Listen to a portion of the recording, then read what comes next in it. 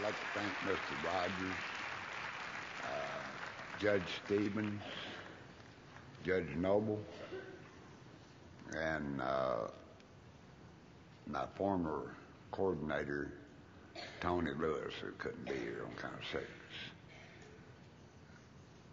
I'll step back and let the judge. Stay right here with me. Higgins Blair is a person who's been called to serve his community, and he does this from his heart. He does not gain financially or politically, and, and it's an honor to have Higgins Blair as a friend. And Perry County and the Pride program is blessed to have him as a volunteer. We appreciate everything he's done. Thank you.